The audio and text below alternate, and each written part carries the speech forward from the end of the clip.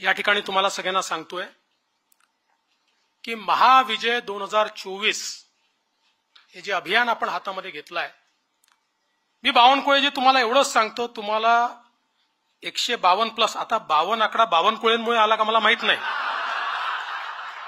हा जो कोणी ज्यांनी हा आकडा तयार केला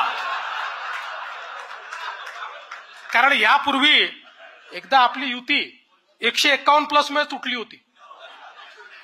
हा आदित्य ठाकरेंनी एकशे एक्कावन्न प्लस घोषित केला त्यामुळे आम्ही त्याच्याखाली घेणारच नाही. सांगितलं त्यामुळे चार जागांकरता चौदा साली युती तुटली होती पण आपल्याला तोडायची नाहीच आहे.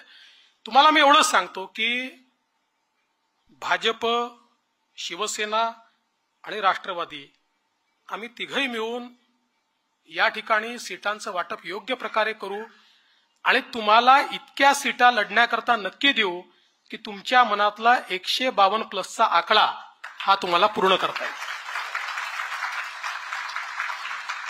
आणि अध्यक्षांनी सांगितलंय खरंय की आपल्याला दोनशे अठ्ठ्याऐंशी मतदारसंघामध्ये काम करायचं आहे. आपल्यालाही निवडून यायचं आहे आपल्या मित्रांनाही निवडून आणायचं आहे भारतीय जनता पार्टी ही बैमान नाही आहे जे सोबत आले आहेत त्यांना सांभाळण्याची कुवत आमच्यामध्ये आहे. आणि त्यामुळे त्यांना आपण सांभाळणार आहोत.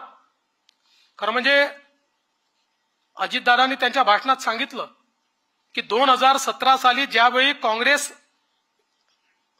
व्यतिरिक्तचे पक्ष एकत्रित करावे अशा प्रकारचा एक प्रयत्न झाला होता त्यावेळी राष्ट्रवादी आणि भाजपनी सोबत यायचा निर्णय केला होता. काँग्रेस व्यतिरिक्त सगळे पक्ष आपण एक करत होतो पण आपल्या नेत्यांनी त्यावेळेसही सांगितलं की ज्यावेळेस उद्धव ठाकरेजी आम्ही युतीत सडलो सांगत होते.